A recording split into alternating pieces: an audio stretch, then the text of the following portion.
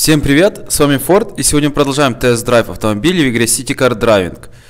В этом обзоре мы посмотрим на такую машину, как Nissan 240 SX. В свое время очень популярная машина, в принципе, которая известна сейчас. Э, сейчас в плане дрифта очень много на ней еще участвует людей. Такая она чистокровная японская машина, японское купе, кто как называет. Так, такой у нас салон. В принципе, сделан хорошо. Конечно, по современным меркам он немножко уже устарел. Но, тем не менее, например, вот смотрим на блок управления климатом. Тут стоят кнопки, а не крутилки. Это уже, конечно, плюс хоть машина и 90-х годов. А так, конечно, простенько, но, но ничего-ничего. Тут главное не то, какой салон, а то, как она едет. И сейчас мы это узнаем. У нас двигатель объемом 2.4, мощность 155 лошадей. В принципе, я не скажу, что это очень много, не скажу, что это мало, нормально. Механика у нас пятиступка, все дела. Ничего себе здесь пробочка. Ну, в общем, машина такая, чисто из 90-х. Вообще она выпускалась с 89 по 98 годы. Является родственником Nissan и Сильвия, то есть они так параллельно выпускались, только Сильвия в 93-м уже прекратила выпускаться, а Nissan 240 еще делался до 98 -го года. Пока что еду я не напрягаясь, тормоза вроде хорошие. Куда ты выехал? Тормоза хорошие, все дела, коробка тоже нормально переключает. Обороты, что самое главное, тоже нормально работает. И подхват есть во, во, во всей как бы плоскости. Что с 2000, что с 5000. Это очень хорошо, особенно для, автомобиля, для японского автомобиля. Э, потому что японские автомобили любят, чтобы их крутили. Точнее, не автомобили, а двигатели. Любят, чтобы их постоянно крутили на высоких оборотах. Тогда они будут ехать нормально. Так, сейчас проедемся немножко по дворам, посмотрим, как себя машина в дворах ведет. Но я думаю, что с парковкой, с ездой по дворам у вас проблемы точно не будет, потому что сама по себе машина небольшая, она купе. Обзорность у нее достаточно хорошая, поэтому как бы в этом плане жалоб не должно быть. Тихо, тихо, тихо. Немножко даже, видите, на бордюр наехал, но проехал, все нормально. Хотя машина не самая высокая. Жалко, жалко, что до сих пор нету э, Race Logic на данную игру. Точнее, на игру-то есть, но именно на версию. У нас версия 1.5, а Race Logic последний был на 1.4.1. Да что ты будешь делать? Что-то все как-то так грустно, какие-то светофоры не работают. Что за город сегодня?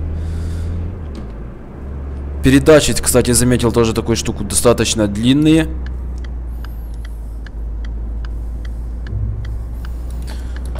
Это означает, что разгон будет так себе, а вот максималка по-любому будет классная. Но это я уже ощущаю, что разгона все-таки, честно говоря, чуть-чуть не хватает. Давай, давай, проезжай. А ну-ка, давайте попробуем немножко дать ей под зад. Раз, два, раскрутили, поехали. Ну, как сказать?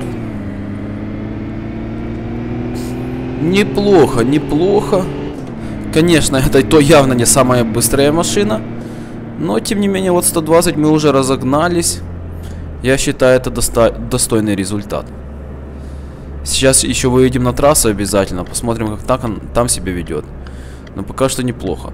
Кстати, какой еще минус у данного конкретно мода, не автомобиля, а мода, что он, зараза, не дрифтует. Это как бы не очень хорошо, потому что машина сама по себе это дрифтерская для дрифта. Как бы, а тут такой парадокс, она не дрифтует. Было бы хорошо, если кто-то меня из мододелов смотрит, чтобы вы доделали этот нюанс и машина начала дрифтовать. Было бы вообще круто и, ну, и логично как минимум. Ладненько, то все такое. Итак, 50 км в час.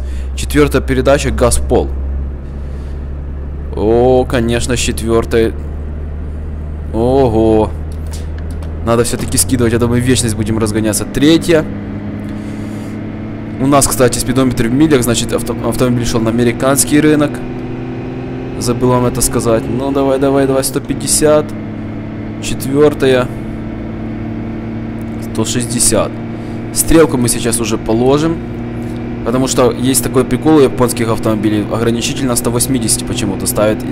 А зачем, я не знаю. То есть, если у европейцев 250, то у японцев всего лишь 180. Причем автомобили идут те же, как бы, и весь смысл тот же. Поэтому немножко странная эта штука с ограничением у них.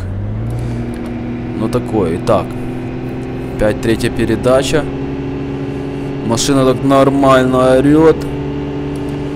Ну, сдувается, сдувается. Где-то до 130, до 140, конечно, она еще разгонялась, но вот дальше как-то вот как-то нехотя, что ли, едет. Она, конечно, разгоняется, уже больше 180 идем. Стрелку положили, все дела. 190.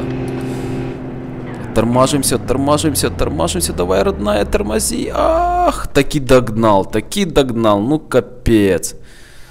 А я-то думал, все будет чудесно. Мужик, извини, я не прав, разогнался очень слишком. Слишком быстро. Слишком сильно, не знаю, как правильно сказать. И зашибись, я сейчас в пробке. Правильно, уезжай. Да, не прав я, конечно, был. Но зато я проверил тормоза. И самое интересное, что тормоза вроде бы как бы неплохие, но вот почему-то не словили машину. Они, походу, под конец уже перегреваются или фиг его знает. Реально, вот смотрите, сейчас где-то при 100 километрах заторможу. Посмотрим. Оп. Ну вот, нормально останавливается автомобиль.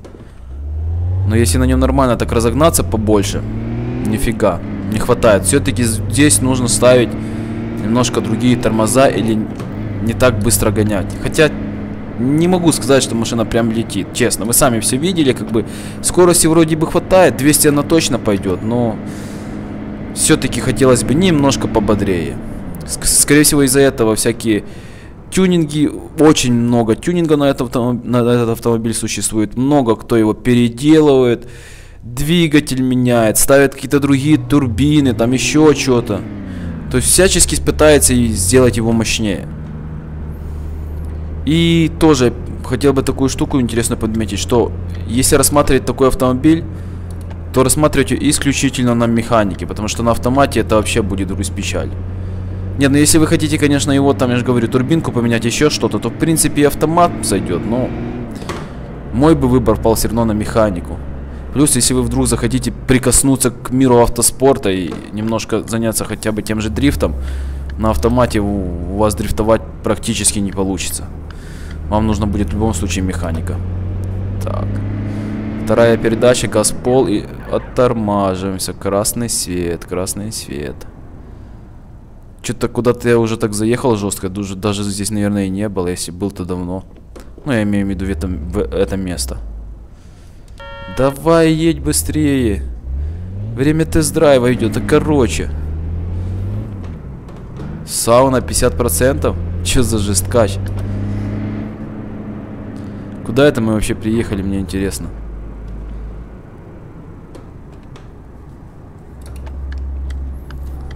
Какие-то заводы. Какая-то стройка или порт, или что это такое? Непонятно. Ну вот видите, сейчас газ в пол и машина немножко долго крутится. И что-то ей то ли крутящего не хватает, то ли фиг его знает. Но что-то она как-то непонятно себя ведет. Ох, даже чуть-чуть занесло, ничего себе. Давай, давай, давай. Блин, аж дворники перепол включил. Так, у нас скорость 140 по городу. А, сейчас будет капец. А, не, пронесло, пронесло. 150. Оттормаживаемся, оттормаживаемся. Нормалек, нормалек. Хороша чертовка. Не, именно вождение, в принципе, доставляет, честно говоря. Она такая, вся управляемая, не расшатанная меру сбитая. То есть, короче, по, по управлению она достаточно прикольная. Но вот бы ей еще немножко мощности добавить, и вообще бы цены не было бы. А так, пока что на, четвер... на четверочку, на 4 с плюсом машинка. Есть свои недочеты, но не глобальные. Так, ну надо припарковаться нормально, да? Так. Ну что ж, ребятки. На сегодня все. Надо еще, наверное, подъехать чуть-чуть. На сегодня все. Пишем в комментариях, как вам видео, как вам автомобиль, понравился, не понравился. Ставим лайки, дизлайки. Не забываем, что можно подписаться на мой канал. Можно купить игру по ссылке в описании. Вот и все такое. Еще раз всем спасибо за внимание. Пока.